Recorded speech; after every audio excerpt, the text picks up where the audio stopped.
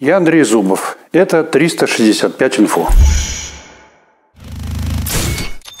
Здравствуйте. Сегодня у нас удивительный гость, наша замечательная, э, не поворачивается слово, заслуженный деятель Республики Казахстан, да? Аида Аюпова. Лауреат международных премий, скрипач, ну, в общем, наше солнце такое музыкальное. Ну и крайне невыносимо красивая женщина. Я позволю себе такой комплимент.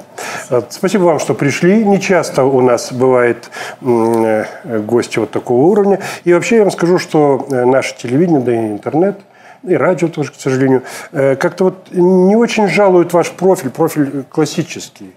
Как вы думаете, на что вы выживаете вообще? Вот?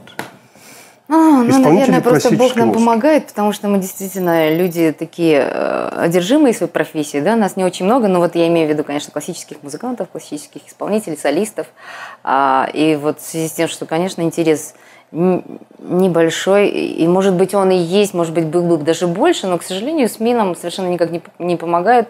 А, это, естественно, радио и телевидение. Телевидение раньше на канале Хабар хоть какие-то наши концерты да. транслировались, да, они приходили, записывали, особенно это если интересные, с оркестром, с какими-то именитыми дирижерами, но уже... Вот а я вам скажу почему, потому что тогда курировал Дорига Султана Назарбаева, которая сама любит это дело. Да. А, она отдалилась сейчас, к сожалению. Вот, угу. может быть, она нас услышит. Дай бог. Дай да, бог. и это дело возобновится. Э, э, я специально посмотрел в интернете, набрал Аида Аюпова в новостях. Угу. Вы знаете, последнее интервью с вами было год назад. Э, как раз, по-моему, на Хабаре на утренней программе. Возможно. Короче говоря, мало вас, и не только вас, а ваших да. сподвижников. Э, какие у вас новости? Что произошло интересного? А, ну, за последние, если несколько месяцев взять, э, вот в мае был такой интересный концерт в Алмате. А, каждый раз мы стараемся с моей пианисткой, ну, либо я, когда с оркестром играю, а, разнообразить программу, делать ее, конечно же, для слушателей какой-то необычной. И вот последний концерт мы решили использовать клавесин. Это была значит, э, такая музыка, мы даже назвали этот концерт от музыки барокко до романтизма. И начали мы, естественно, с барочной музыки. Там была скрипка с клавесином. Вот половина где-то концерта была такая музыка, Гендель, а, Тортини и так далее. Потом мы плавно перешли к Моцарту, уже зазвучал рояль, и завершили Брамсом. А, ну, почему я говорю, что он такой знаменательный, может быть, да, потому что он был необычный. И у нас вообще клавесин практически никто ну, не да. использует. Уже давно я вообще не слышала. Орган есть, да, клавесин почему-то нет.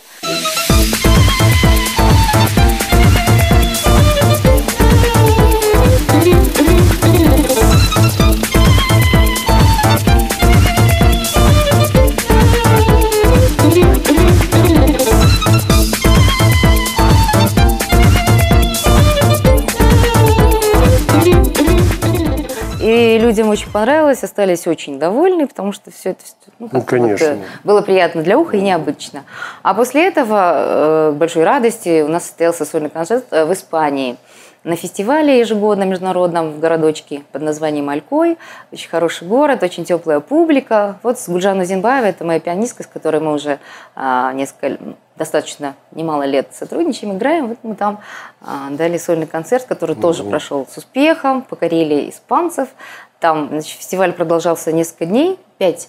И мы получилось, что приехали в самом начале, послушали все концерты и, естественно, реакцию публики. Ну, э, я человек достаточно скромный, но объективный. На самом деле нас принимали лучше всех, аплодировали, не отпускали. Там мы играли несколько вещей на бис.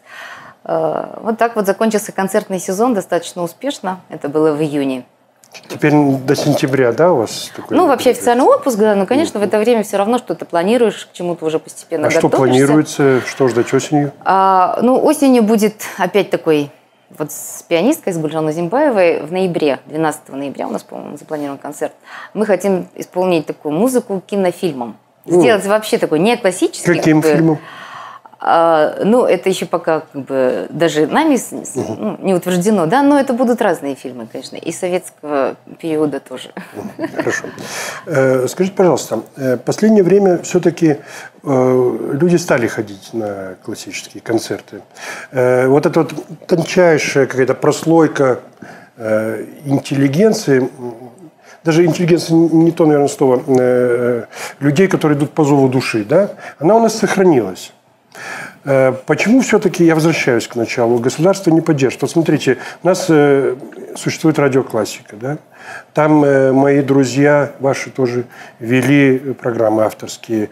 Потом казалось, что это накладно для кого-то. Я слушаю дома радио Венеция, классическая музыка, круглосуточная, итальянская. Ее содержит государство и очень этим гордится. Почему бы нашему Акимату, не взять под крыло вот э, хотя бы эту радиостанцию, чтобы мы слушали классическую музыку, а не одну попсню. Ну, возможно, сегодня э, эту нашу сегодняшнюю программу Божьим Бовек тоже услышит, который, который совсем недалек да, от музыки, скажем так, и, может быть, тоже Да, тем более, что Аким-то у нас да, имеет музыкальное образование. имеет музыкальное образование, закончил бахиловскую школу, в Европе учился. Конечно, это должно там поддерживаться надо, государством, там это же, господи. без этого невозможно. Ну... Это во все времена, во всех странах было так. За счет этого только э, искусство и выживало это, ну, за счет меценатов, конечно, но и при поддержке государства. И даже сейчас вот эм, этот фестиваль, на котором мы участвовали, да, он полностью финансируется э, городом. Город полностью а, а, оплачивает все, все затраты. Это, значит, и авиабилеты, и гостиницы, и какие-то гонорары, э, естественно, аренда помещения, зала. И они тоже этим гордятся. И это замечательно проходит. Люди, полные залы. Тем самым тоже все, все равно, я, видимо, ну, Наверное, это как-то окупается, потому что люди покупают ну, еще и билеты, да. И, в общем-то, довольны все, и удобно всем, но они еще горды, что они это делают, они поддерживают. И, конечно, у нас э, совершенно все по-другому, к сожалению, величайшему. Конечно, остается только надеяться. Надежда, говорит, умирает последний, что что-то будет меняться, потому что без этого... А так вы спрашиваете, как вы выживаете? Ну, каждый выживает как может. Мы стараемся каждый раз найти, если это какие-то свои проекты, да, э, не знаю, финансы, каких-то спонсоров, хотя это сейчас очень сложно, очень редко, тем более сейчас кризис. Э, а так вот, если даже без этого, ну, просто филармонии, в которой тоже недостаточно даже бюджета, чтобы дать действительно правильную, хорошую рекламу, чтобы люди пришли. Вот вы говорите, народ ходит у нас на концерт, а знаете, куда идут? Вот в, в Готоп идут, да? Потому что реклама хорошая, идут на э, приезжих исполнителей каких-то, потому что реклама идет э, дополнительная, угу.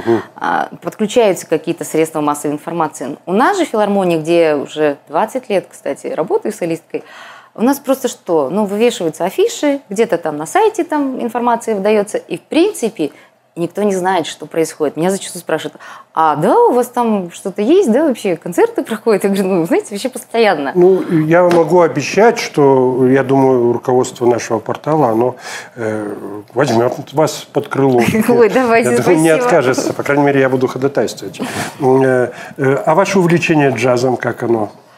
поживает? А джаз, ну, всегда просто мне нравился, вообще люблю, да, я часто слушаю, и решила попробовать, потому что, ну, вот востребованности, как вот вы заметили, да, последнее интервью там год назад. Да? Угу. Конечно, концерты они есть, но все равно э, мне этого недостаточно. Мне достаточно энергии, чтобы еще заниматься чем-то другим, поэтому решила попробовать. С Виктором Хоменковым мы давно знакомы, это наш известный джазмен, угу. которому я предложила, ну, так, поиграть сначала, просто что-то сделать, несколько вещей. Потом это, значит, переросло в то, что мы должны записать альбом, и э, к счастью, вот познакомилась я в то время с французами, известными музыкантами, братья Локвуд, которые, благодаря которым еще вот это получилось в Париже, что мы записались на студии в Париже. А, ну, в общем-то, на самом деле джаз это та же самая классика, этим надо заниматься серьезно прямо туда вот уходить. Угу. Этого у меня не получилось, и я и не собиралась, просто это был какой-то ну, эксперимент, хотелось попробовать, сделать что-то новое, свежее. В общем-то, на этой стадии оно так осталось. А, но кроме классики я все равно делаю какие-то вещи. Вот э, сейчас летом потихоньку начала работать э, с одним известным, не, не очень известным, но очень талантливым молодым а, композитором, аранжировщиком. Это Саджан Шаменов. У него есть своя группа, тоже молодые талантливые ребята. Вот мы делаем программу. Это будут аранжировки, но это не джаз, там больше фьюжн, что-то. Угу. Ну, попса нельзя сказать, не могу, потому что сама не очень, как бы, хотя есть очень талантливые эстрадные исполнители. Ну, что-то вот такое вот, э, ну, качественное, хорошее, но качественное, не классическое. То есть э, э, джазовых каких-то композиций мы пока увидеть не сможем, да? Ну, джазовых пока нет, да. Угу. А вот о том, что вы сейчас сказали, это будет какой-то концерт или это на диске будет? Или Нет, обязательно, видео? да. Просто это Это- еще в самом начале. Мы только подбираем репертуар, кое-что потихонечку репетируем. Но в дальнейшем, конечно, это будет альбом, а, это будет презентация, концерт. В общем-то, и ну, люди узнают. Вы узнаете первым. Спасибо. У меня еще к вам два вопроса. Меня просили их задать. Первый. Вы долгое время жили в Австрии, в Вене. Э, Почему вы не остались в Австрии? А второй вопрос попозже. Да, больше шести лет я провела в Вене, то есть замечательное время. Вена стала моим вторым родным городом. Почему не, не осталось? Вот когда я говорю правду, на меня почему-то так вот некоторые как-то косятся как-то неправильно понимают. Но это правда, я вернулась, а, потому что, ну не знаю, я человек очень искренний, говорю как есть. Потому что у меня здесь семья, я была ей нужна, потому что родители уже не молодели, а а также у меня сын, который, в общем-то, ну, с детских лет он с ними был чаще, они его воспитывали, но он уже подрастал, и уже нужна была мама. Поэтому вот, ну, по этой причине. Ну, Хорошая причина. Да, И, ну, э, люди, может, ожидать, что я сказала, я патриот Казахстана, поэтому вернулся Ну, Я бы, кстати, не удивился, потому что я, например, тоже патриот. Понимаете, мы э, слушаем патетику в, река- в речах политиков Да. и не обращаем внимания. А когда человек э, в обычной беседе позволяет патетику, нам кажется, что это наигранно. Ну, это естественно. Нет, патетика тоже имеет место, ну, просто мы ее не умеем говорить. Но это дел- к делу не относится. И э, заключительный вопрос на этой программе, не вообще, э, который меня тоже мучает. Что такое все-таки классика? В чем ее секрет, секрет популярности и вечной жизни? Классика, классика это, это душа, классика это пища для ума, А, классика это, ну, это самое сокровенное, это то, что заставляет задуматься о смысле жизни, о самом главном, о самом э, трогательном, о самом каком-то тончайшем, да.